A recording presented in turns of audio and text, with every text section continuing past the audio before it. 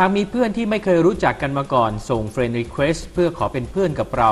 หลายคนเลือกที่จะตอบรับ จะด้วยเหตุผลด้านมารยาทหรือเพราะรูปภาพของเขาหรือเธอเหล่านั้น สาวหล่อหรือว่าสวยงามเกินกว่าที่จะปฏิเสธได้ก็ตาม แต่ว่าหลังจากนั้นเพื่อนนิรนามเหล่านี้ก็เริ่มที่จะแท็กโฆษณาชวนเราไปขายสินค้าประเภทที่คุยโวว่าจะช่วยเพิ่มรายได้พิเศษให้กับเราอย่างต่อเนื่อง บางคนไหวตัวไม่ทัน หลงคลิกรับเพื่อนเหล่านี้เข้ามา แต่เพราะมีเพื่อนของเพื่อนที่หลงกลอุบายนี้ จึงต้องทำให้ทนรับชะตากรรมนะครับเพราะว่าเห็นโฆษณาที่ถูกแท็กจากเพื่อนหลงกลมาโดยตลอดเช่นเดียวกันนะครับ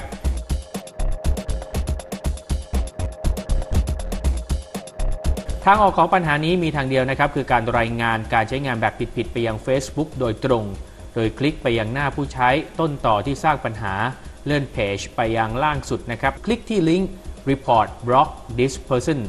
จากนั้นเลือกรายงาน Facebook ว่าผู้ใช้งานคนนี้ปลอมตัว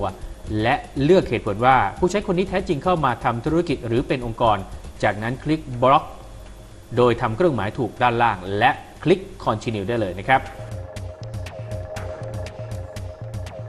หลังจากที่ทำตามขั้นตอนนี้แล้ว ผู้ใช้เจ้าปัญหาก็จะถูกลบ แล้วก็บล็อกจากหน้าของเราเท่านั้นนะครับ แต่สำหรับเพื่อนๆคนอื่นๆ ก็ยังจะต้องพบเจอปัญหานี้อยู่ ตอนนี้ก็ถึงขั้นที่ว่า